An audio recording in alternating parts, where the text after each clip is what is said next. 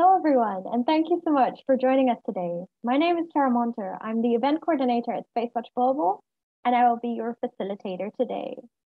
So we have the wonderful opportunity to join forces with Laura for her event series about space arbitration. Her first event on whether or not outer space needs arbitration on the 13th of January was a great success with over 350 registrations. And on the 10th of February, she had another second great event discussing the need for an institution specialized in space disputes. So hats off and congratulations to Laura for now her third event organized by the Space Arbitration Association on the topic of if there is room for private parties in international space law. I will let her present the association and the idea behind the conference series, but a word on the Q&A function of this Zoom session. We will have a Q&A session at the end of the talk, so please post all your questions in the Q&A tab that you can find on the lower end of your screen so, you, so we can take them into account. Uh, I would also like to mention that we are recording today's session. Last point before we start, please keep your messages in the chat to a professional and respectful tone, otherwise we will have to take action. Now, a short introduction of Spacewatch Global. We are a Europe-based online platform for information in and about space and new space activities in a geopolitical context. I know many of you are already familiar with our website, our bi-weekly and daily newsletters, and the Space Cafe podcast. And for all our fans of audio content, we also have new episodes in our Space Cafe radio on the road from conferences. And you can find them on all major podcast platforms. Just search for Space Cafes. We also like to keep our fan, fan shop online open for you to support us actively and become a space watcher. And if you've missed any of our space cafes, we have an archive available on our webpage in the events section and on our YouTube channel. Now, with this, my job is almost done for today, and I would love to hand you over to Laura. Over to you. Hello, everyone, and thank you for joining again. So, times in Europe have become a bit darker since we met for the last time. So, I'm I'm doubly glad, glad that we are able to meet today. And for those who didn't attend the first two events, just a word on on the purpose of the association. So I founded the association to create a forum of discussion for the space law and the arbitration communities because I found that there was a lack of interaction between both. And so we will we will organize eight conferences throughout this year discussing several aspects related to dispute resolution and outer space.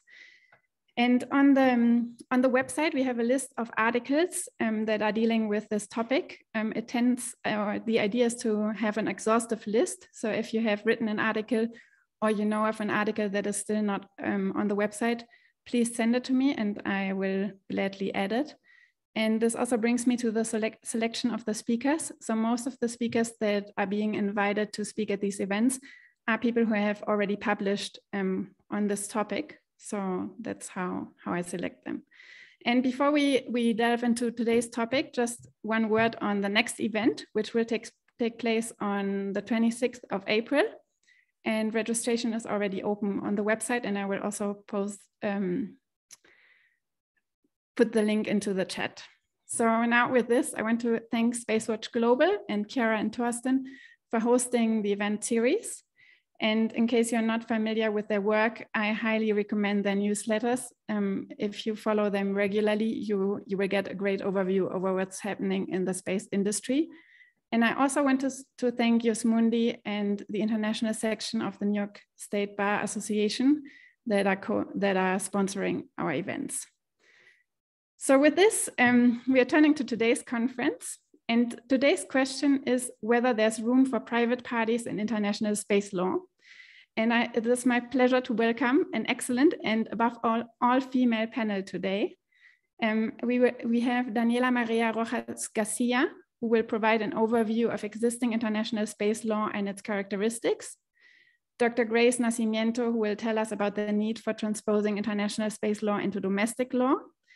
Um, Rada Popova, who will address investment protection in outer space, and Rachael O'Grady, who will further delve into the role private parties play in international space law and how their position could be improved. I will, I will introduce each of them in more detail before they speak, but um, I will start with Daniela, who will be our first presenter today.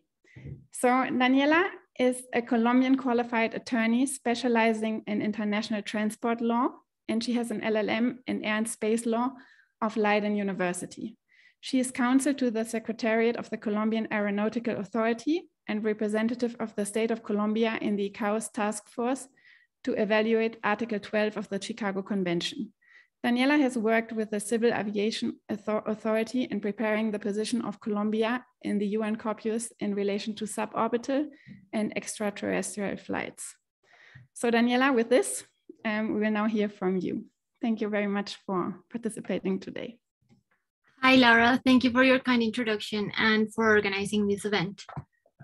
Um, so for the next 10 minutes, I'm going to try to cover as much as possible of the general framework of international space law, um, but I will try to focus especially on the need for regulation to start encompassing all kinds of actors, as opposed to just um, focusing on states and transfer some of that focus into pr the private sector. Um, so first we need to remember that due to the importance of space and to the reach that these activities have, they were only initially performed by states. But so these activities became kind of a flag for the states and uh, a point of interest for all other states, uh, seeing how they progressed uh, uh during the, the creation of space law. Uh, but with the passage of time and the development of accessible technology, private parties, of course, started to uh, venture into the space sector. And that is making us look into the original regulation to try to reevaluate it and of course to improve it. Um, I will begin by making a few comments on the five treaties that encompass or, or that uh, currently regulate space law from an international perspective. Uh, so first we have uh, perhaps the most important one, which is the Outer Space Treaty, uh, it establishes the general principles applicable to all space activities, and they are framed under the, um, under the aim of peaceful and orderly development. Uh, the preamble of the Outer Space Treaty is based on the interest of all mankind in the progress of exploration and exploitation uh, of, of space and its resources. Uh, and it particularly recalls on the provisions that aim at avoiding space races, national appropriation of any portion of the state of, of, the, of space or the celestial bodies, and currently, it might be the, might be the most uh, overarching body of space law in place, which makes it the basis for the, the uh, development of the other treaties. Uh, the second one that we have is the Rescue Agreement that elaborates on Article 5 of the Outer Space Treaty. And remember that this provision considers astronauts as envoys of mankind. Uh, so this agreement aims at um, assigning in state uh, the responsibility to protect these envoys whenever they are developing space activities, and especially considering the humanitarian nature and the urgent character of return and assistance of astronauts, uh, regardless of their nationality. So it becomes kind of a responsibility for all states parties. Um, the third one that we have is the Liability Convention, which elaborates on Articles 6 and 7 of, of the Outer Space Treaty. Uh, and these provisions make states internationally responsible for governmental and non-governmental entities that uh, execute these kinds of activities subject to each state's jurisdiction. So from the preamble of the convention, the regime is entirely victim-oriented, including the possibility for states to take precautionary measures to prevent damage caused by space objects that they launch into space.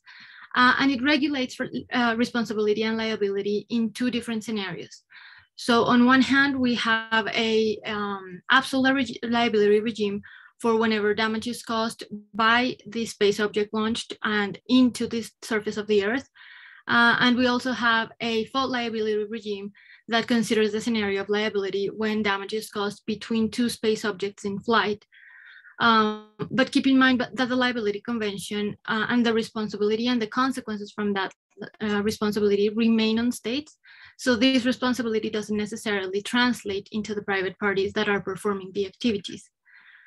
Um, then we have the registration convention, which is an elaboration uh, of Article 8 of the Outer Space Treaty, and it promotes registration of space objects launched into space under a centralized registry.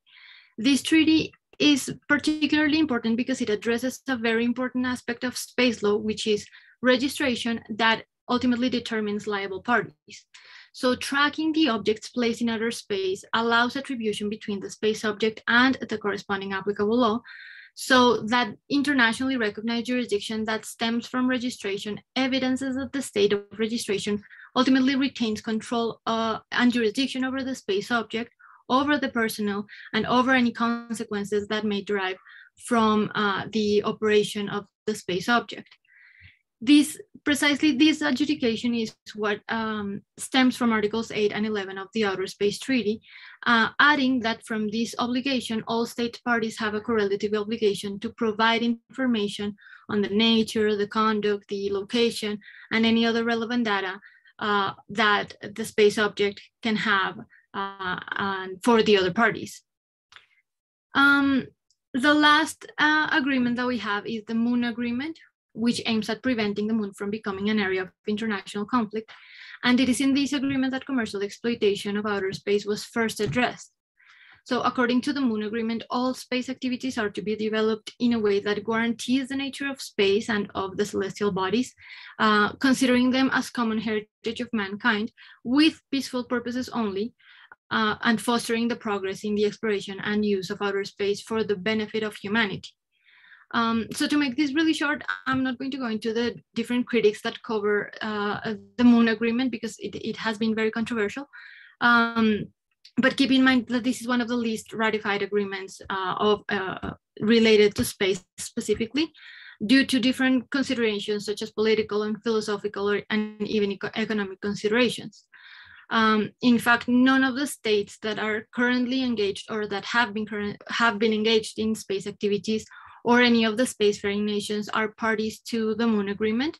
But I think the fact that the Moon Agreement uh, addressed matters relating to the environment and the prevention of damage uh, to the environment uh, shows the importance that the development of sustainable, uh, sustainable rules has in this sector.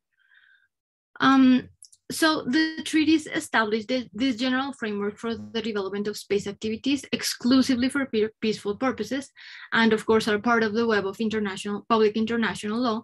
So they are complemented by other relevant treaties, for example, um, the human rights uh, treaties and declarations, by the international uh, by international customary law and by general principles of public international law as established in the ICJ statute. And additionally, to complement these hard law international obligations, states have also aimed at developing principles that are adopted by the United Nations General Assembly. These principles currently um, uh, address matters related to general space activities uh, performed by states, the use of artificial earth, uh, earth satellites for international direct broad television broadcasting, um, for remote sensing of the Earth from outer space, use of nuclear power sources, and the international cooperation that needs to occur between all states to develop these activities, particularly considering the needs for developing countries. Um, so I believe the, the central point of, of this uh, of this matter at the in this conference should be that due to the focus on states uh, uh, space law continues to currently lean very strongly towards regulation of space activities from a state to state pers perspective and through the lens of public international law. And this, the, this is the reason for states to be held internationally responsible for governmental and non-governmental space activities, for the need of private parties to achieve the state's authorization to perform these activities, and for the active state supervision of these activities when they are performed by private parties under the state's jurisdiction. Um, and this is not to say that the regulation from the state level is undesirable, because of course, we do need general rules that are applicable in the most uniform way. Uh, but in addition to these international state regulations, we need to promote the development of space activities from other actors, be them private or mixed or NGOs, or even financing parties, or a combination of all of these actors uh, in order to progress in the exploitation of, of resources and the exploration of outer space. Um, generally, I believe that the current framework is sufficiently flexible to enable and encourage states to carry out space activities in a somewhat orderly fashion. Uh, and I believe that it believe that it should be uh, uh, sufficient to develop harmonic domestic laws that will promote space activities by private parties. So for these purposes and precisely based on this regime, uh, the international bodies have aimed at creating not only the general principles that should guide the industry, but also the soft law rules that are tailor-made uh, for the space activities specifically. And this should include financing, insurance, regional and bilateral relations, private liability, and as we will see later in this conference, uh, the dispute resolution mechanisms that are specifically tailored to space activities and that are av available to both public and private parties alike. So in general, the aim should be that states implement these commitments into their domestic legislations in the most harmonized way. Um, so to address the need for development of space law, considering all these new actors, the United Nations General Assembly has adopted the 2030 Agenda for Sustainable Development, for example, and it is based on the implementation of 17 Sustainable Development Goals and five main pillars. And on its part, the Committee on the Peaceful Uses of Outer Space has referred and continues to refer to a wide area of concerns that require not only regulation uh, in the sense that we create rules, but also in the regularization of activities that are a central point of interest of the international community. And these concerns include environmental and, and long-term sustainability matters, climate, climate change, space debris, confidence building measures, and disarmament and arms control.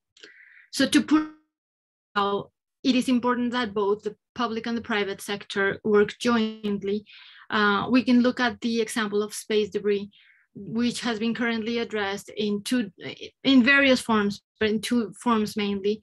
Uh, so on one hand, the committee has evaluated the possibility of uh, private parties to uh, to perform these cleanup activities uh, on the on the um, uh, to to clean up the the the earth from this space debris under a an agreement for services or for the provision of services.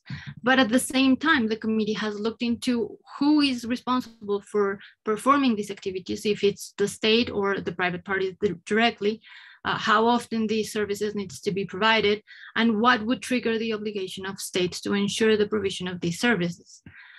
So this is why I say that the performance of all space activities inevitably requires that all actors come together uh, from their different perspectives and add into the uh, regulation and the promotion of space activities. Um, so I, I think uh, this is all the time that we have for, for my intervention, but I hope that this short overview um, serves as a good starting point to develop this discussion. Um, I'm sure that private space activities will continue to go, grow very fast. So I believe that the best way to to promote this and the development of space activities is for us to continue to have these conversations to ensure that the development of the law is in sync with technological advancements and with the more pressing concerns of the industry. Thank you, Daniela. You mentioned several space treaties, um, and you also mentioned that space activities are growing very fast. So could you maybe say a word about the state of ratifications of the treaties? in light yes, of the development of that we are seeing. Thank you. Yeah. So uh, not all space treaties have been widely ratified by states, uh, but the fact that the Outer Space Treaty has about 110 uh, parties, and I think it has currently like 89 signatories, it shows the interest of the international community to abide by uniform, unified principles of international law in relation to space activities. Uh, but as I said earlier, the least ratified agreement is the Moon Agreement. It, I think it only has 18 signatures and about seven ratifications, and none of those belong to spacefaring nations or uh, nations uh, interested in lunar activities. Um, but the fact that uh, some of the provisions, um, the fact that some of the provisions and uh, were addressing issues that we have today I think it also shows the intent of the international community to regulate it.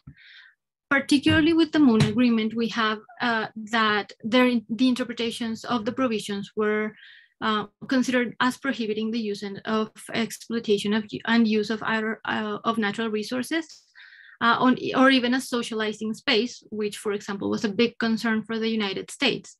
Um, this situation may have led to a lack of interest of states in entering into this agreement. Uh, and also the fact that the agreement was prepared in parallel to the law of the Sea Convention may have led to a sense of politicization uh, of the notion of common heritage of mankind. But in reality, the intent was to offer a more specific regulation, which is an interest that we continue to have today. So probably the status of the moon agreement won't improve, uh, but we can take the lessons from the preparatory works, from the text itself, and, and from the critics that uh, stemmed from the text itself uh, to further regulate the scientific and commercial operations in outer space. Yeah, I assume that with growing exploitation of space resources, this will become even more relevant in the next few years, and maybe there, we, we can see more development in terms of the legal rules that are applicable. Um, and given that you're from Colombia, we all know about SpaceX and Blue Origin, but could you tell us a little bit about space and Latin America? Yeah, so space activities, uh, as we all know, are recognized as fundamental tools for economic and social and political development. Uh, and Latin American states have conducted space activities since as, as, early as the 1960s, but all of these activities have been very modest and very small. Uh, and this is natural because the development of space activities is can be has been traditionally expensive and may be seen as an unnecessary undertaking from the governments directly considering the economic and territorial disparity and the different issues that Latin American countries face. Um, so this is why it may be difficult for governments and politicians to justify the advancement of space programs in Latin America. Um, additionally, we have in the region a lack of fluid communication between, between states uh, or agreements in place developing um, uh, relations, particularly relating to space activities between the countries. Uh, so it's not that common to find Latin American countries coordinating these kinds of approach. Um, so for the development of space activities in Latin America, I believe that it should be more focused on private parties and on fostering the, the development of these kinds of projects.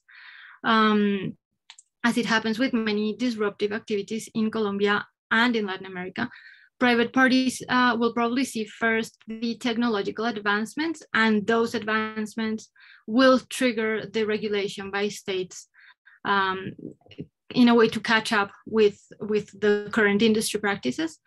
Um, I think Rada will touch on this later on, but investment protection today, I think, uh, is the greatest opportunity to develop these kinds of projects. Um, and international investors, of course, can turn into key promoters of space activities.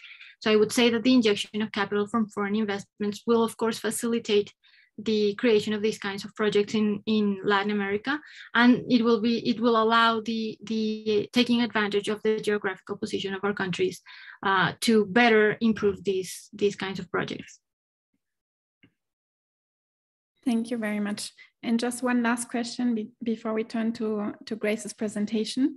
Do you think that states will continue to play an important role in space activities, or do you foresee that space will be more and more the domain of just private activities? I don't think that we're going to see uh, such a dramatic shift in the sense that only private parties are going to engage in space activities. Uh, and I don't think that would be a desirable shift.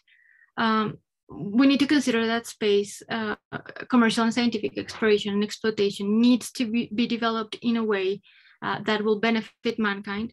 And I believe the most natural approach would be to regulate it from all different perspectives and to have different actors um, performing these kinds of activities jointly or separately, uh, but finding a balance between the public and the private sector. Uh, so from the international perspective, uh, space, of course, represents the use of resources that cannot be appropriated uh, by any nation or by any pr private party, uh, and that their exploitation is capable of impacting everyone on Earth so this makes space activities a global concern that needs to continue to have a focus on states to enforce international obligations.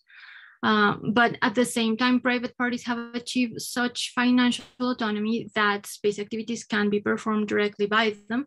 And we see that with the current projects that are have been undergoing and that are uh, in the news all the time. Uh, I believe that this interaction is highly desirable, and we need to remember that states are not experts in technological advancements. So they shouldn't be tasked with managing, managing space activities because governments have more pressing issues to address. So I think we will have, we will see currently an increase on private parties developing space activities, but always uh, jointly with the, um, with the states that are going to continue to oversee them. Yes, I agree. Thank you very much. So now it's my pleasure to introduce Dr. Grace Nacimiento, um, who will speak about domestic space law. So Grace is a lawyer and partner at GVW, Graf von Westphalen in Düsseldorf in Germany.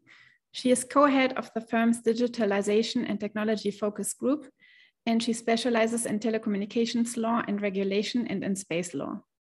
She has over 20 years of experience in advising companies in the telecom and the space sector on a broad range of legal and regulatory matters. She has extensive experience in advising on national and international spectrum management issues in connection with satellite communication systems. She advises, amongst others, satellite network operators with respect to filings, spectrum usage, and coordination proceedings. And she's also the current chair of the International Bar Association's Space Law Committee, and publishes regularly on space law topics. So now we will hear from her on domestic law and space activities. Thank you, Grace. Thank you very much, Laura. I'll try and share my screen. I hope it works.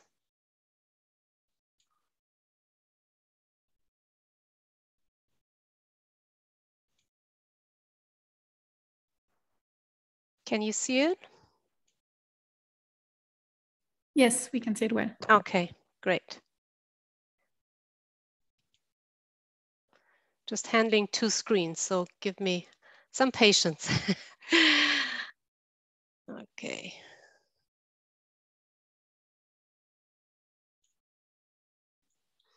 So thank you very much, Laura, for um, organizing this event and for having me. I'm happy to um, participate in this event.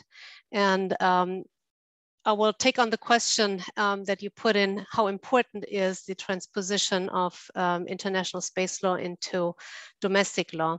Uh, Daniela just gave an excellent overview of the main um, of the main international treaties regulating space, and um, I come then in uh, to the question: Why is it important that um, international treaties are in, uh, transposed into um, national law?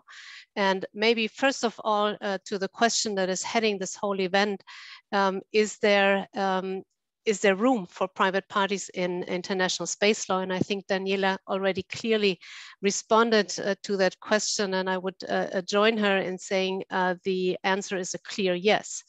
Um, commercial and private space activities are developing fast and strongly. So today uh, there are many private parties active um, in that sector. And um, sorry.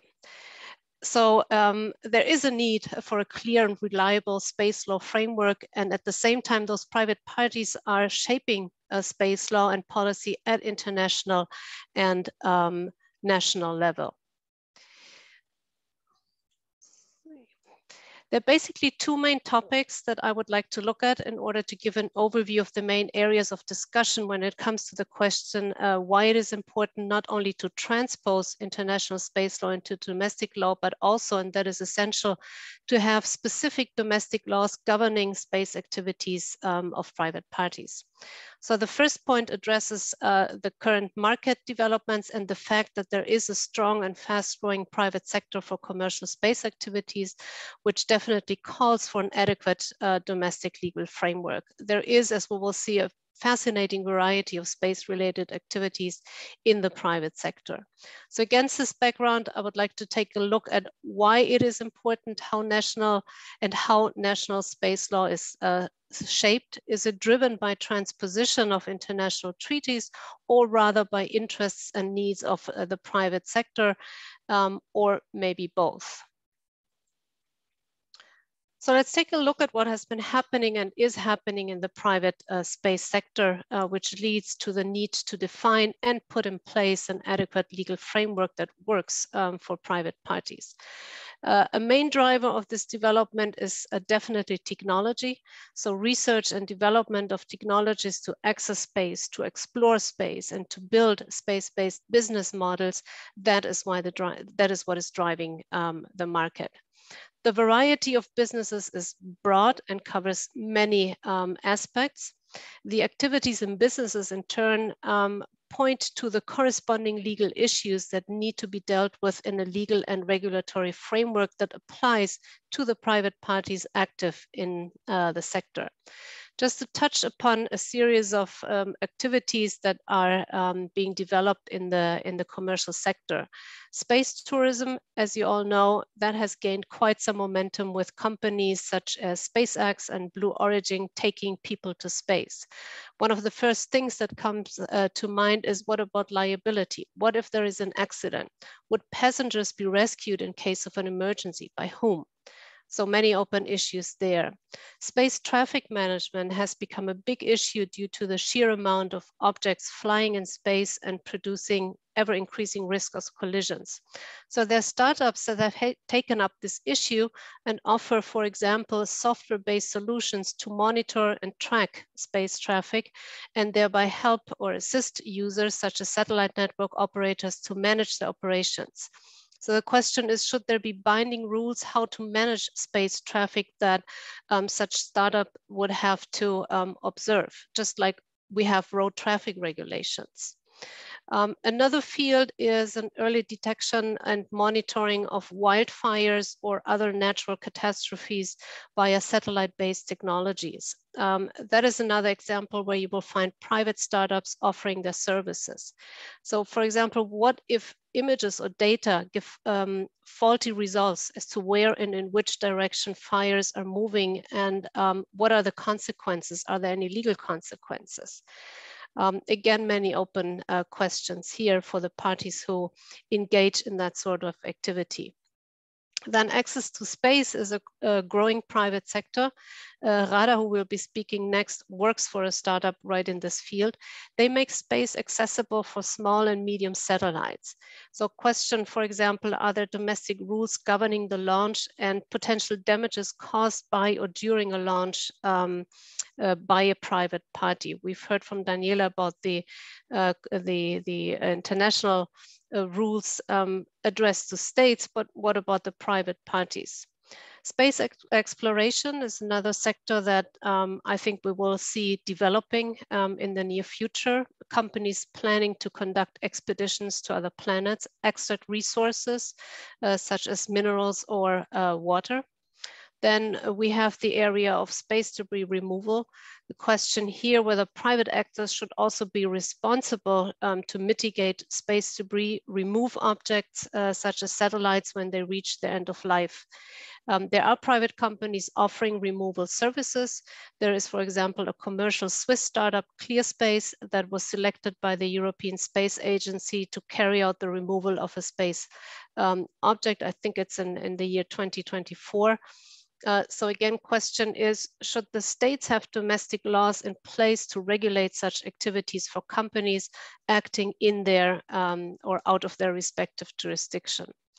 Uh, then, of course, we have the broad area of satellite communications networks. Um, as we can see, private companies are moving ahead very fast to establish satellite communications networks. Just think of uh, Starlink established by SpaceX, Kuiper by Amazon, or OneWeb uh, led by a consortium. There are complex international and national mechanisms in place to assign, for example, orbit position and spectrum usage rights, among other legal issues that um, arise here. And last but not least, Earth observation and satellite imaging in general. Um, what came to my mind when preparing this session was something that we are unfortunately seeing today, um, that is private company providing satellite images in times of crisis um, and war, as we're seeing now private companies being um, or providing satellite images to Ukraine um, to assist in detecting, for example, troop uh, movements. So should there be a domestic legal framework for the companies engaging um, in this type of activity? So now turning to the question, um, how is, or considering these private activities, how is space law governing those activities space uh, shaped or should be shaped?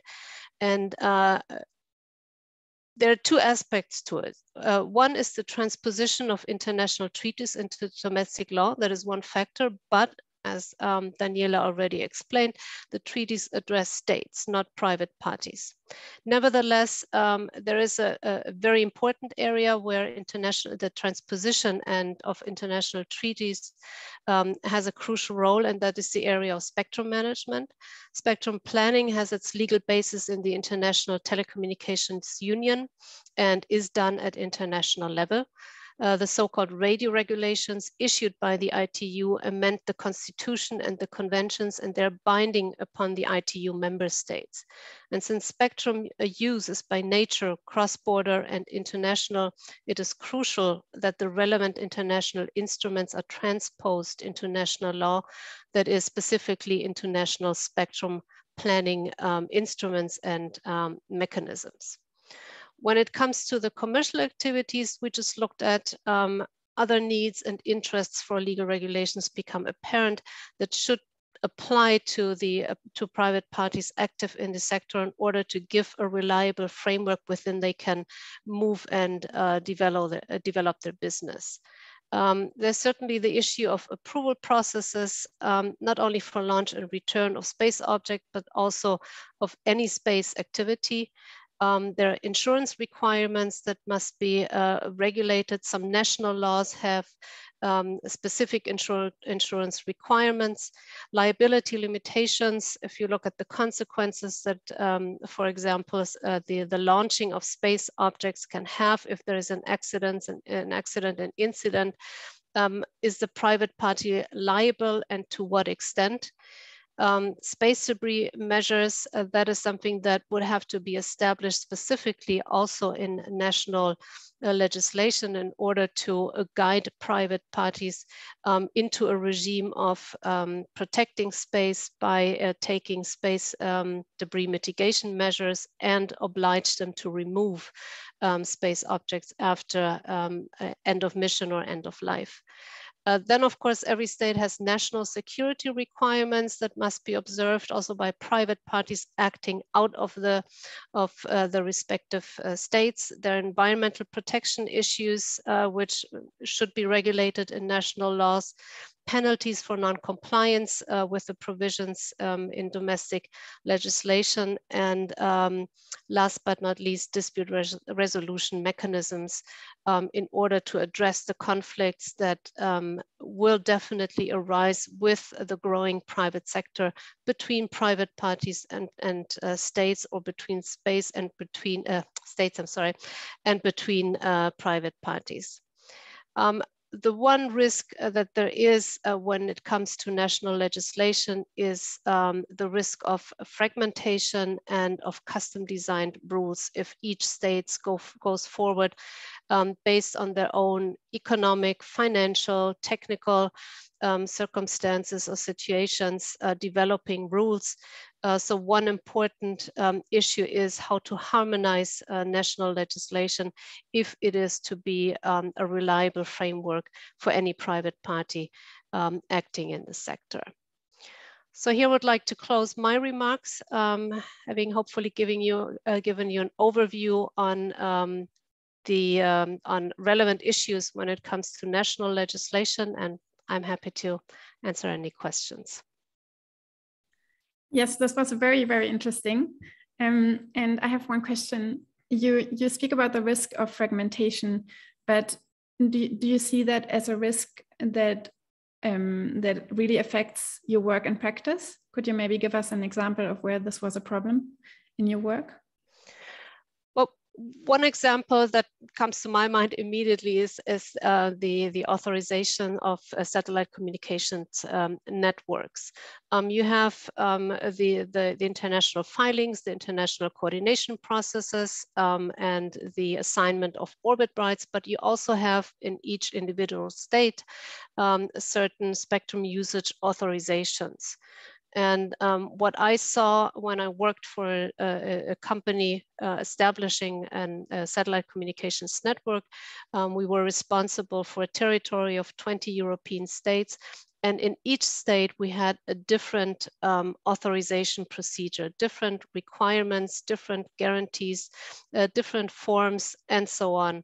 Uh, so that makes it very burdensome um, for an operator to um, establish um, uh, uh, its network uh, without having to go through different proceedings in, in, every, um, in every state. Uh, what the um, EU at least had in mind at some point was a sort of a one-stop shopping uh, proceeding, meaning that at least within the European Union, you would go to one state, get an, a spectrum usage authorization, which would be valid uh, in every other uh, member state, but um, that never worked out. So this is still a gap, um, I think, in practice and which burdens uh, satellite network operators. So I guess it's good news for lawyers, but not so much for space companies. Um, That's right. Another question I had um, when listening to, to your presentation was, um, so national law is transposing international rules into the domestic context, but are there examples of contradictions where national laws contradict international space law? Yes, um, there are. And a very recent discussion is uh, or has taken place in the area of space resources extract uh, extraction. Um, for example, Luxembourg has a national law on the exploration and use of space resources. And uh, that uh, law states that space resources are capable of being owned by private parties. Um, in contrast to that, the Outer Space Treaty that Daniela uh, presented provides that outer space, um, uh, including the moon and other celestial bodies, is not subject to national appropriation by any means. Um, so private party acting under the jurisdiction of Luxembourg could claim own ownership of space resources it extracted, while international law does not allow such appropriation by states and Consequently, a state would not be allowed to grant private, private parties in its jurisdiction the right to claim ownership of space uh, resources. So if that case arises in practice in the future, um, I think there would be a clear conflict between a national law and uh, the international treaty. Thank you. This is also a topic we will discuss more in April um, to see if this can give rise to interstate disputes. So just as a teaser for the next conference. And one last question, given that you're based in Germany, could you maybe say a word about German space law? Well, there is no German Space Act um, as of to date. Um, it has been announced for quite some time, now, I think uh, for years. Um, so at this point, private startups acting in or out of Germany do not have a domestic legal um, framework.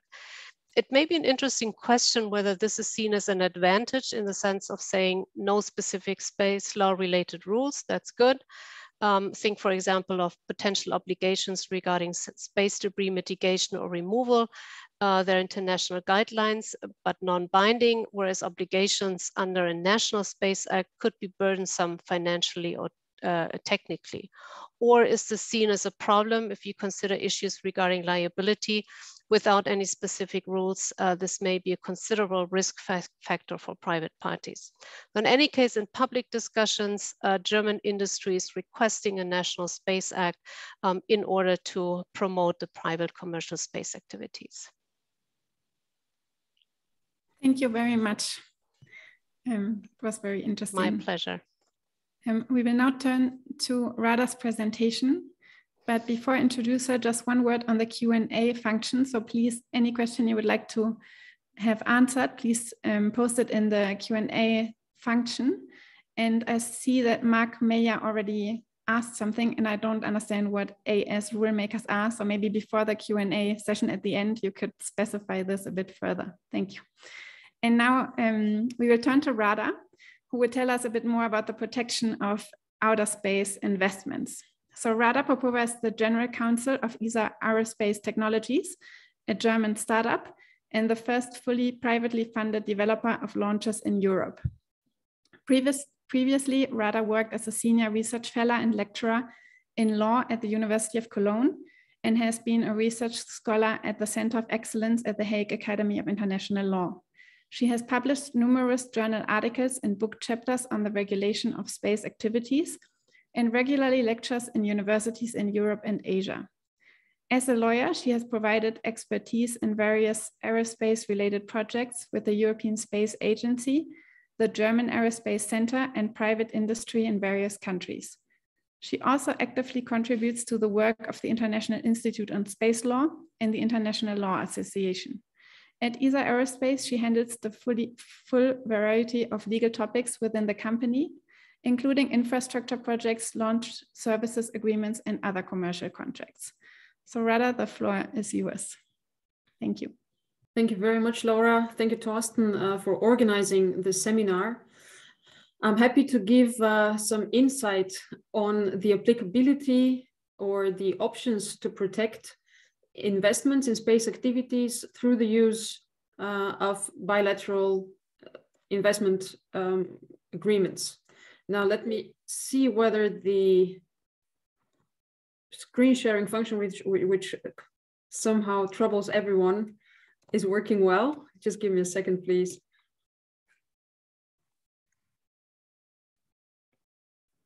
Hmm.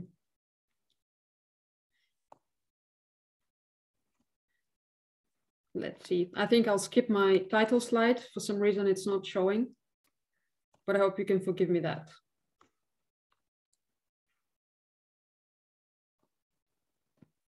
So in general, why do we look at the topic of investment protection for space projects? Um, more or less everybody are used to look into the legal and regulatory side of space activities more from the international uh, perspective.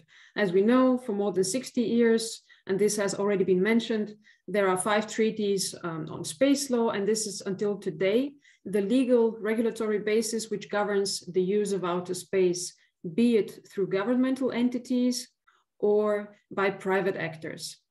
At the same time, uh, we are also living exactly in the time where the so-called new space, very often compared to the Apollo era, uh, is now turning the stakes in the sense that not only more and more private actors are involving and engaging in space activities, but where the private space industry is extremely has extremely grown over the years and um, investment undertakings in terms of uh, private financiers investing money in, in startups, in space startups, but also mergers and acquisitions of space companies are taking place so that we see um, a very large amount, on the one hand, of funds being put into space activities, and on the other hand, of course, a growing risk for all those non-state based parties uh, coming from the private sector uh, to, to carry out those activities and of course bear all of the associated risks. So also when we look into the nature of space activities, um, it is easy to see uh, that they are an example of a very large scale, long-term type of activity, which requires the allotment of quite significant financial resources, extensive planning, and normally, such activities can neither be planned over a short period of time. They require um, a few years normally of preparation, of technological development, also of uh, finding the necessary funds. And they are projected also to, to, um, to take place over normally over decades, although now with the um, evolution of smaller satellites, we know that the lifetime of a space mission, if we look into single satellites, uh, is actually being diminished from the classic 10 to 15 to 20 years of larger satellites, now going down to maybe four, five years. In any case, um, as we have already heard also in the previous editions of, uh, of this seminar or conference, um, it is quite an unsatisfactory situation with regard to options for dispute settlement in international space law. It is based on traditional diplomatic protection, meaning that states would be the main actors to engage into uh, dispute settlements. At the same time, the involvement of private actors calls for uh, more favorable protection standards, for more uh, favorable options for arbitration and also not in the last place and this is what we're going to talk about um, for favorable protection standards for the investments uh, put into space activities. Now um, of course from the perspective of private companies it would be very beneficial if they could rely on the application of investment treaties to, to, to, to fight against interference with their rights by the states. Because despite the commercialization of space activity, states do remain, and this has been mentioned before, do remain heavily involved in space activities. Um, the more the simplest example is that even though a state may not be directly involved into the planning or the carrying out of the, the space activity, launch facilities, for example, are all, always located in state territory or in the classic case, and normally depend also on licenses and authorizations issued by the states.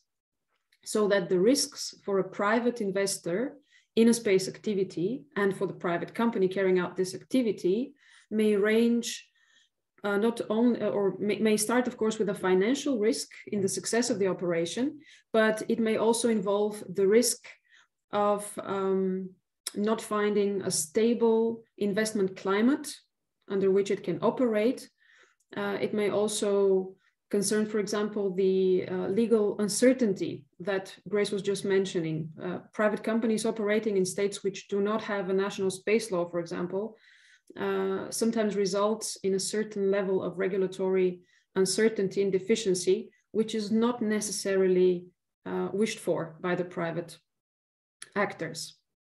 But now coming back to the requirements that must be met for investment protection to be applicable to investments made in space projects. Two main conditions must be met. First of all, there must be an investment, meaning that the economic activity or the space project, as we may call it, um, con containing numerous phases, must qualify as investment in the sense normally used in bilateral investment treaties and under the ICSID convention um, in the application of the so-called double keyhole principle. Now, there is actually no universally applied definition of investment. Um, for example, the US model BIT from 2012 refers to um, every asset that an investor owns or controls, be it directly or indirectly, that has the characteristics of an investment. Now, if we try to apply this um, to space activities, we, we, we can quickly conclude that a space project, as it, as I mentioned, a long-term, quite costly um, undertaking, it involves also uh, acquisition of uh, sometimes a fixed infrastructure, acquisition of uh, movable property, of technological development, of hiring personnel. So it's a quite high um, scope, let's say, of, um, of transactions and forms of investment. Additionally, in applying the double keyhole approach, the economic activity uh, must also fulfill the definition of investment under the ICSID convention, meaning that it has to fulfill three criteria. Um, the three criteria are my next slide. Contribution, duration, and risk. Now, again, as I mentioned, the duration is given because of the inherently long term of, of a space activity uh, from planning to carrying out to end of life. The contribution is also substantial for the uh, investment reasons that I just mentioned. And the risk is also given. Uh, we may differentiate between different types of risk.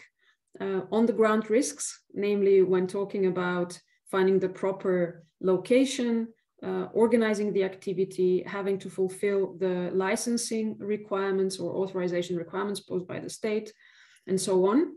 But also we talk about significant risks in terms of everything that can go wrong with a space activity in orbit.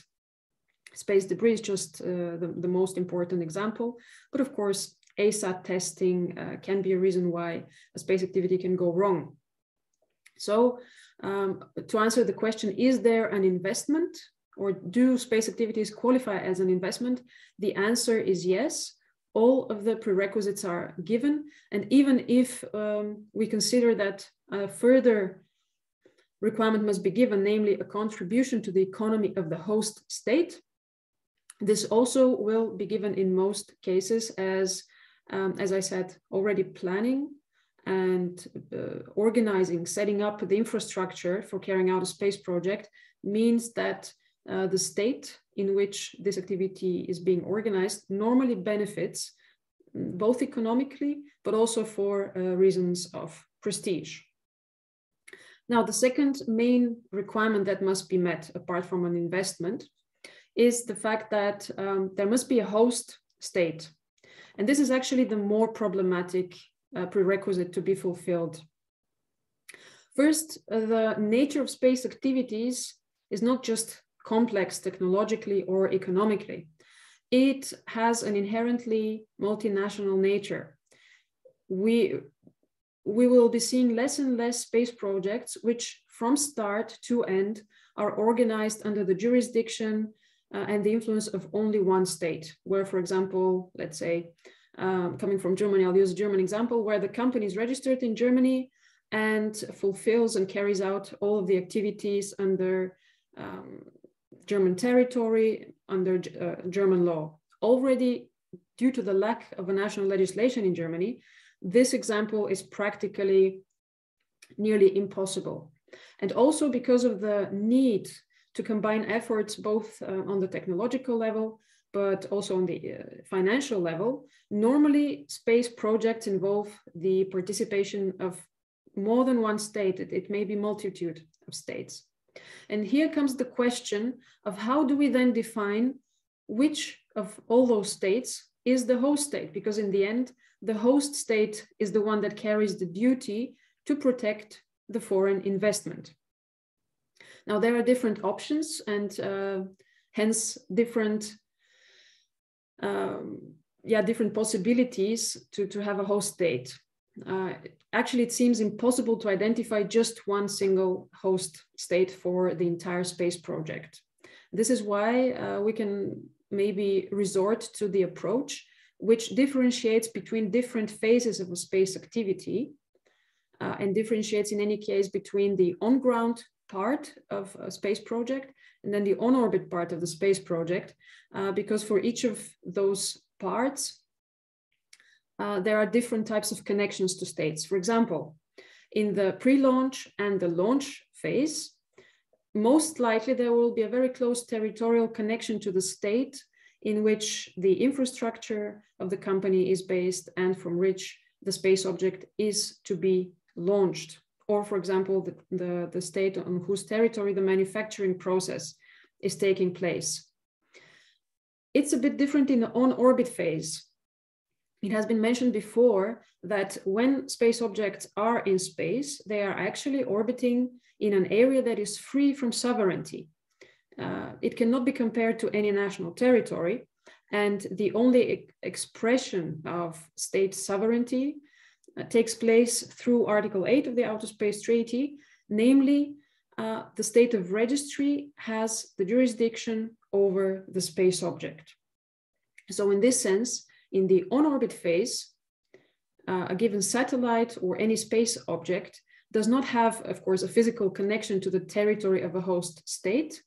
And there the jurisdictional nexus exists between the space object and the state in which it has been registered, because there is uh, there should be only one state that registers a space object. This constellation is more the simple, the simplified version. Um, international space law does not tackle or regulate cases where the ownership over satellites um, is transferred. So basically, uh, under space law, once a launching state, once a state of registry, you remain a state of registry although space assets, of course, uh, undergo transactions and undergo change of ownership. And so far, this problem is solved on the basis of bilateral agreements between the previous owner and the new owner. But additionally, we must say that the evaluation of the nexus between the space asset or the space project and the given state to be considered as a host state should also take into account the fact that satellites in general and space activity in general, other than other investment activities on the Earth, are not meant to be located within any territory. They aim to go and operate into outer space. Therefore, um, this nexus or this link taking place through Article 8 of the Outer Space Treaty seems quite reasonable in the sense that it interprets the requirement of taking place in the territory of the host state uh, through the exclusive jurisdiction over the satellite. On the other hand, um, if we go back to the problem or with the issue of uh, on the ground host states, there we may have actually, in fact, in, uh, in parallel and few options for a host state. But this again is within the sense and within the logic of international investment law, which seeks to offer protection of foreign investors, not just against one optional host state, but um, it seeks to offer the, the foreign investor to seek for protection against numerous or a, a few possible host states. I already talked about the different phases. Um, I just want to give you a brief outline of what are the main risks from an investment law perspective during each of those main phases. Normally we can differentiate, as I mentioned, between pre-launch. Yeah. Sorry to interrupt, but if you could just give a very quick overview because Absolutely. we are running off, out of time. Thank you. Have to. Yeah, sure. So the main risk basically during the pre-launch phase, everything that takes place on the ground, lies mainly within the regulatory uncertainty. What if the state does not issue the license on time? What if the state changes the legislation and so on? These may result in frustrated costs for the investor. During the launch phase, uh, which is the most risky one, um, it concerns the physical security of the uh, space object. In this case, the FPS principle is important. And in the on-orbit phase, it is very difficult actually to apply a very strict standard for states under uh, FPS because it's a due diligence duty uh, where the risks may stem from collisions with space debris, ASAT testing, and so on. But in general, just to wrap it up, um, we can we can find out that investment law is indeed very well applicable to space activities, and I absolutely concur with the opinion that it, it has a huge potential in uh, allowing for investments and highly expensive activities to be better protected than they are currently are under the more or less fragmented system between international space law and uh, partially existing national law. Thank you for the attention and happy to address any questions. Yes, I have, I have one short question. Um, so a lot of satellites have a dual use function, meaning that even though they are made for commercial purposes, they can also be used for military um, activities. So how do you think that fits into investment protection? How, how can that be addressed? Yeah, so the dual use, as we know, is one of the most basic characteristics of any space asset and space activity. And it involves uh, actually national security concerns. And as we know, national security concerns may serve as a reason for a host state to put some limitations or barriers for commercial investments. Um, so in any case, uh, we can say that the dual use character of space assets may lead to certain or to the realization of political risks in terms of investment. Thank you very much. There are many more questions we could ask, but because of time reasons, I think I will now turn to Rachael. Thank you very much, Rada. It was very interesting. Um, so last but not least, it is my pleasure to introduce Rachael O'Grady, who is one of the the main authors of space arbitration articles in recent years. Um, so as, as an introduction, um, Rachael is a partner in the international arbitration practice at Mayer Brown. Um, she is a solicitor advocate and focuses on international commercial and bilateral investment treaty arbitration and public international law. She is also co-founder and co-chair of Mayer Brown's Space and Satellite Group and has acted for commercial parties in various space-related disputes. Rachael um, has a particular academic interest in the laws of outer space, and she is increasingly uh, becoming increasingly well known for, for these topics. She has written several articles on space law and space arbitration and has been quoted extensively in the press, including in the Financial Times, The Guardian, and the Daily Telegraph, among others. And she has been interviewed on BBC Radio on space arbitration. So, Rachael, we're now looking forward to hearing from you. Thank you. Thank you, um, Laura. I'm going to start with the dreaded, the dreaded moment of the screen share. So if you bear with me, I will do my best. to do that. And perhaps you can just confirm whether you can Yes, we can see I it. see. Okay, perfect. Uh, actually, now I've lost the bit where I can change it. Let's see. Sorry, I've lost.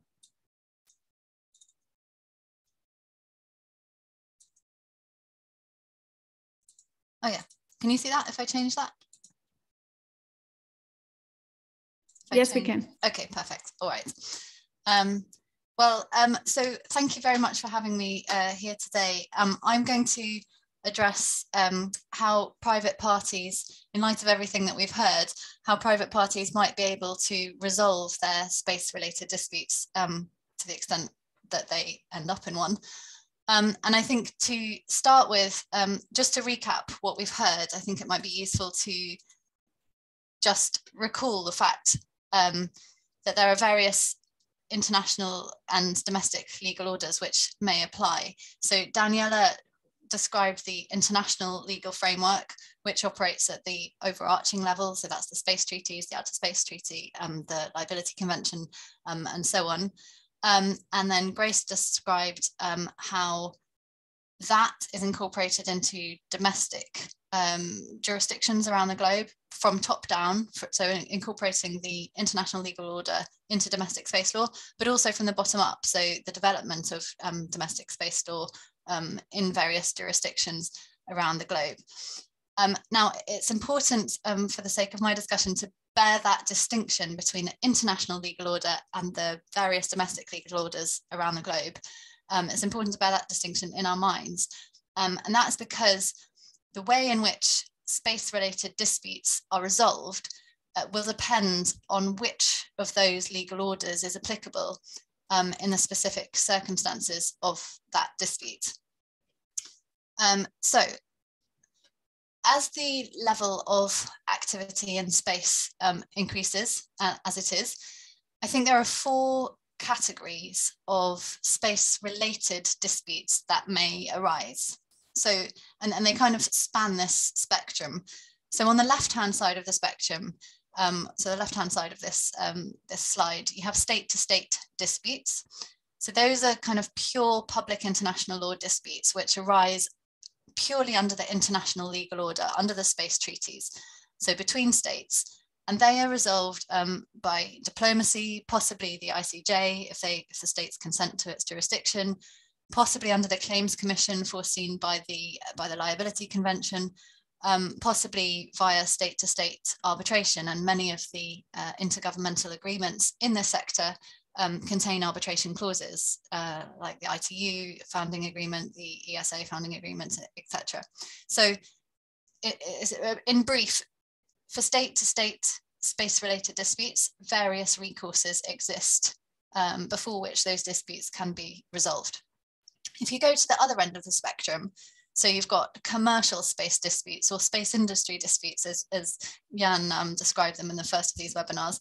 These are disputes between two commercial parties in connection with a space-related venture, but they are governed by domestic law at the domestic level.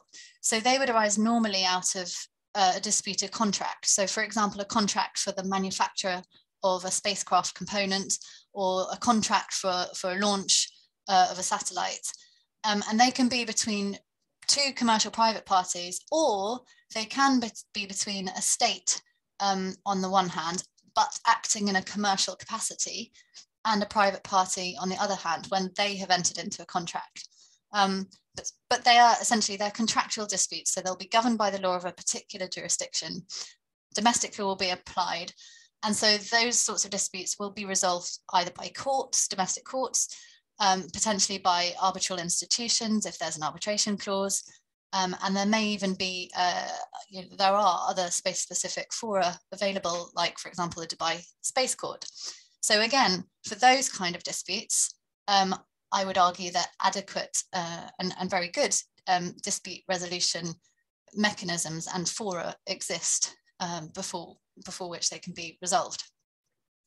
Then moving along um, one step to the left, so private versus state disputes, um, as we've just heard, and so investment treaty disputes. So disputes which do not arise out of a contract, um, but which are caught nevertheless by um, terrestrial investment treaties.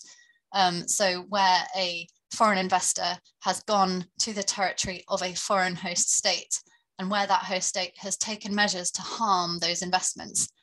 And as a result of that, the, the, the harmed private investor itself is entitled under the applicable treaty to a direct recourse against that host state via arbitration. Um, now, the problem arises then where the red question mark is. Uh, so when disputes arise between a private commercial entity on the one hand and a state on the other hand, but that dispute, it doesn't fall under a contract, um, it doesn't fall under the parameters of, um, of an international investment treaty, uh, for example, because it's not in the territory of the other host state. And I'm very interested um, in what Rada had to say about the jurisdictional nexus um, being linked with the with the registration, but we can discuss that perhaps at another point. But there are there will be situations for sure where uh, disputes arise and they don't fall under any of those parameters. So what then does a private entity do? Like what recourse does it have? And I thought just to take, just to kind of put it in, in context, I thought just to imagine a couple of examples. Um, now you'll all be familiar, I presume, with the what happened with uh, the Chinese space station and Starlink. I think it was just before, just after Christmas. Um, if just for the sake of this example, we can flip that on its head. Now let's imagine that the Chinese space station had somehow come too close to a Starlink satellite, or a Chinese satellite had come too close to a Starlink satellite, and perhaps even collided with it um, and caused damage to the Starlink satellite. So then Starlink could have a direct claim against the Chinese state. Um, or if we go to the right hand side of this slide and take it one step further, let's take out the state entity. Let's presume that no state entity is involved. Let's, for the sake of the, this example only, let's presume that, um, that, for example, OneWeb and Starlink had two satellites and the OneWeb satellite crashed into the Starlink satellite. Now, OneWeb is a UK uh, incorporated um, company and under international space law, as we've heard, nat- uh, sorry, states are responsible for the, the activities of their nationals in space. So that would then make the potentially make the UK government liable for the potentially wrongful activity of OneWeb, which caused it to crash into the Starlink satellite. So then in that scenario, Starlink would have a claim potentially against the UK government.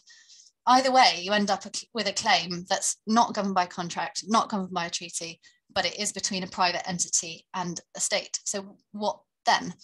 Um, and just to say, as an aside, and I've seen some of the questions in the boxes, there are lots of very complicated and complex areas and arguable gaps in international space law as to how substantively those disputes could be resolved. Um, but I'm not covering those today. I would love to, but, but I don't have time to. But I just want to flag that they exist, those substantive gaps. Um, and therefore, the ground for these kinds of disputes is very fertile, especially as increasing commercial space activity is taking place. But I'm, I'm talking here about the procedural gap. So the fact that there isn't actually any forum at all before which private entities in these scenarios can bring claims like these directly against potentially liable states. So not only are the rules themselves missing, but there's also nowhere to go when that lack of rules or that lack of regulation um, does cause a problem. There's nowhere to go to argue about it. There's no court. There's nothing that provides for arbitration in the space treaties. They're silent on dispute resolution, apart from um, the liability convention, but um, that only provides for a claims commission for states. Um, and in any event, it's not binding. Um, excuse me. So even the few rights that do exist can't be enforced. And when there's a grey area, um, there's not really a way of resolving that confusion. So this essentially mirrors the exact situation that existed in the 1960s with respect to foreign investment disputes. So before the ICSID convention had come into force. And at that time, um, foreign investors were wholly dependent on their own governments accepting to take on and pursue claims on their behalf through diplomacy. And the investor or the private entity in question wouldn't actually have any control over the proceedings and it would be relying on the state to do it for it. Now, the ICSID Convention totally transformed that status quo because it granted private investors with a direct recourse against foreign states um, in the event that rights pertaining to their investments under international law were harmed. And I would argue that with the acceleration of the commercial space industry um, and the surge of this extraterrestrial activity by private entities and individuals, even, um, I would argue that the time has now come for a similar facility to be created with respect to outer state disputes between private entities um, and states, which now arise on the international legal plane. Um, now, I'm just looking at the time. Yes, um, very quickly. 25 years ago, Professor Karl-Heinz Böckstiegel um, thought about this, and he actually led a task force to produce a draft convention on the settlement of disputes related to outer space activities. And it was a, a very comprehensive instrument which was produced and adopted, in fact, by the International Law Association um, in Taipei at, the, at its 68th um, conference. The problem is nobody ever signed up to it. Um, so we're left without anything still.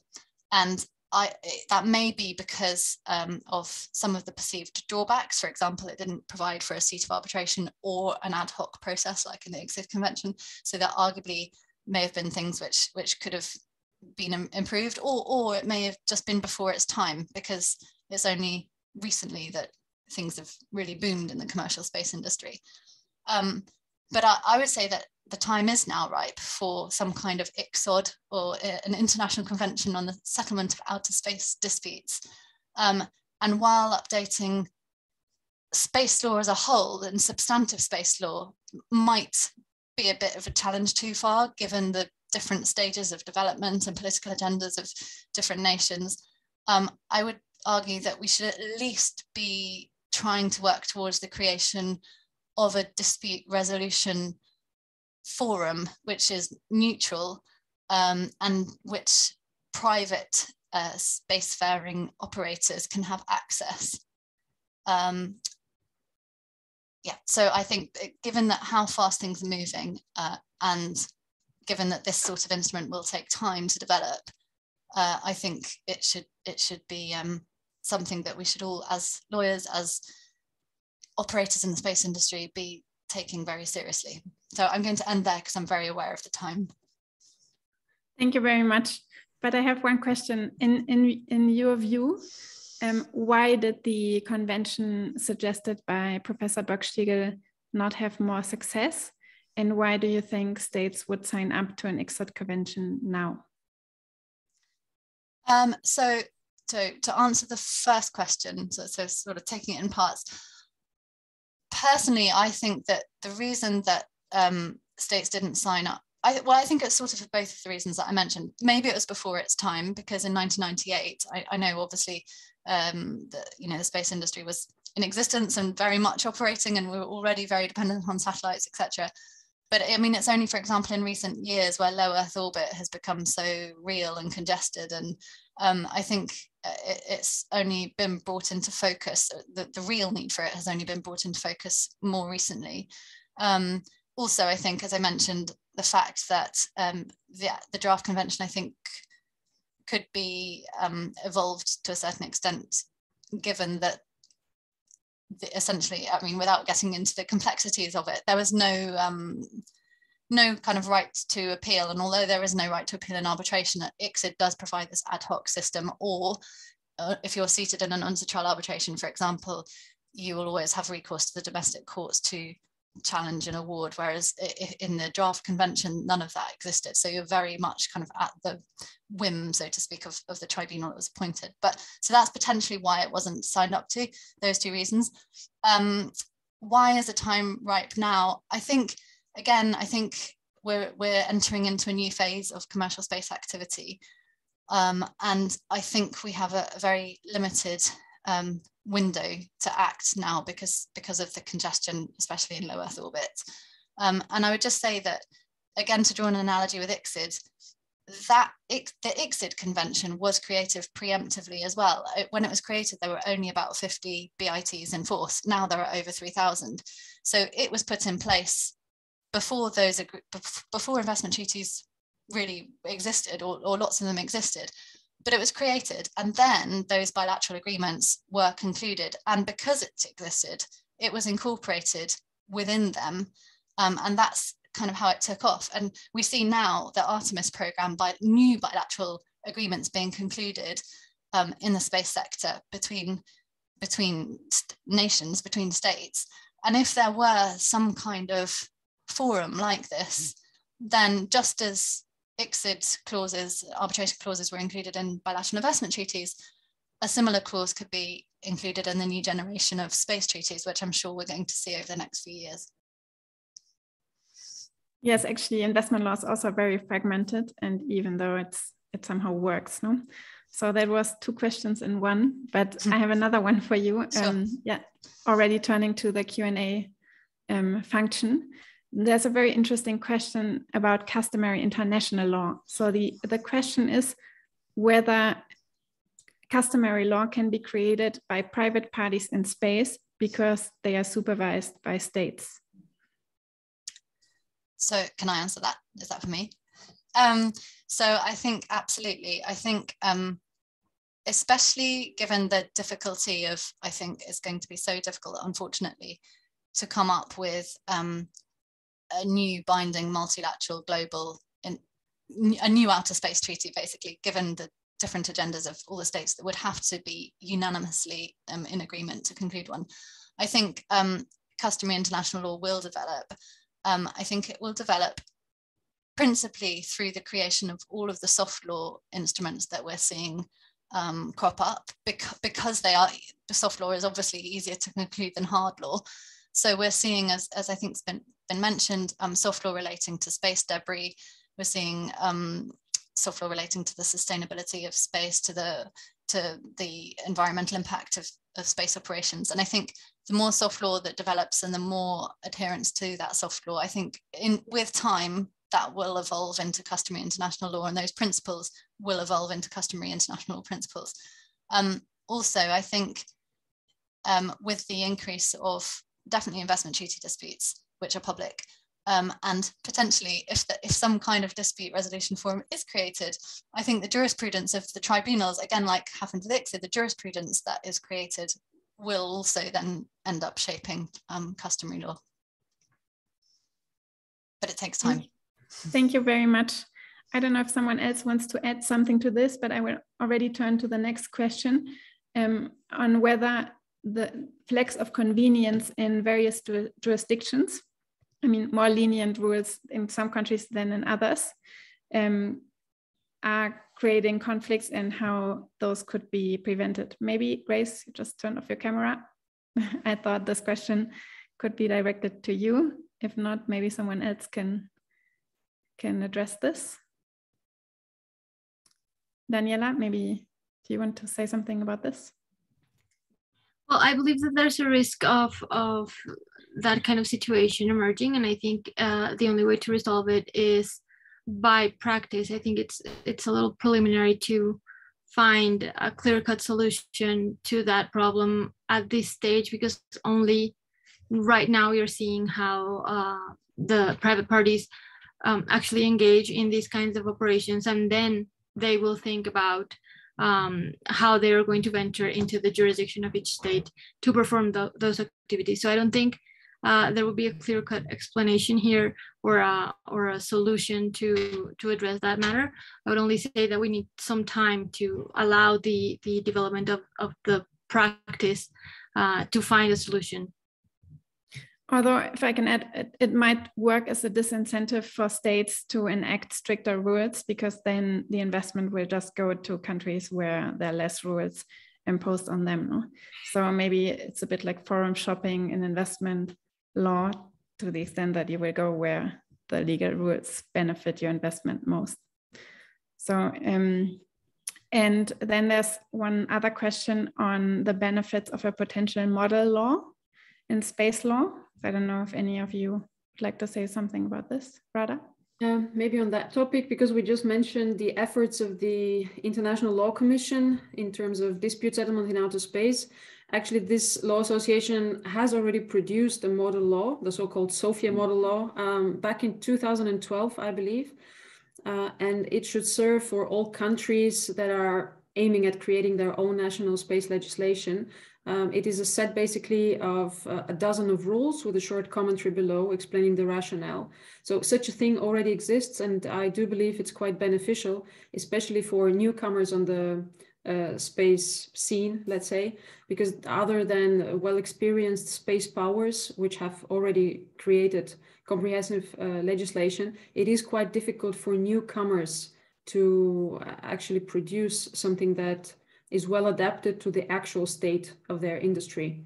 And on the more regional level in Europe, I think the European Space Agency is also, uh, without having it formalized as a model law, I believe they are also supporting or at least offering support for states who are looking into uh, becoming one of the states with national space legislation.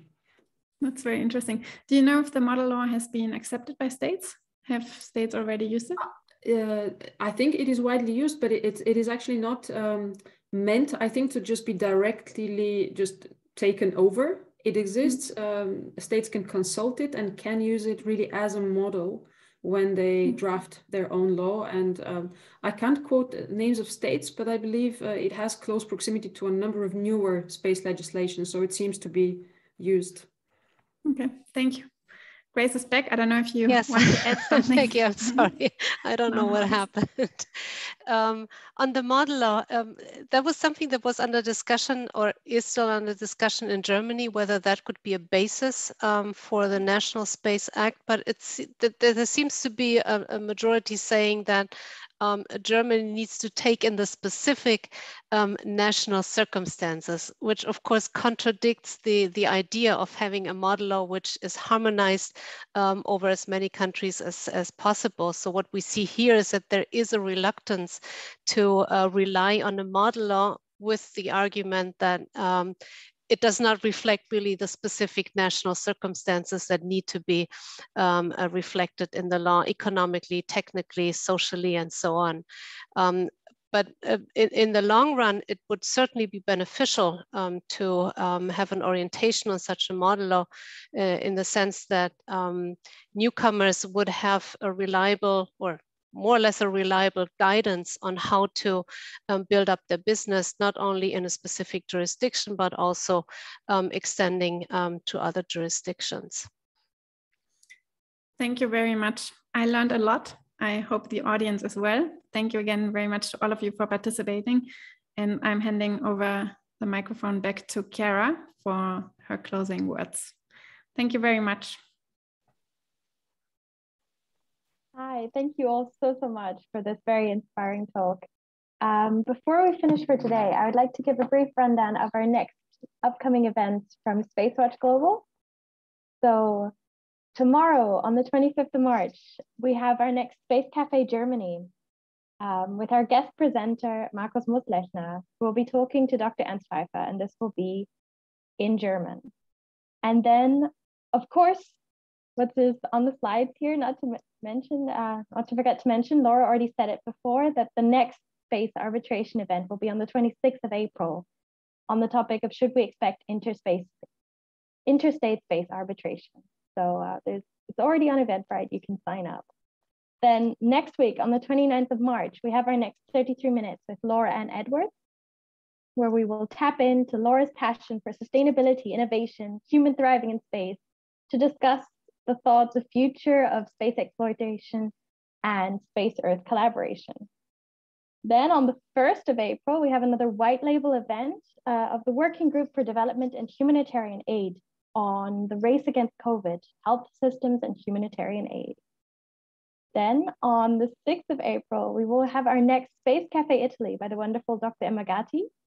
And on the 7th of April at 4 p.m. CST, we have our next Space Cafe Mariba's Vox Populi. So stay tuned. All events are going to be online on Eventbrite. As always, we love to hear your feedback, so please check in with us on Twitter, Facebook, and LinkedIn. Don't forget to sign up for our daily and biweekly newsletters.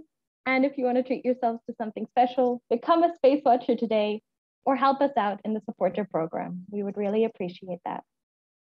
So again, huge thank you to Laura for another fantastic event and thank you to all your wonderful guests for the inspiring talk.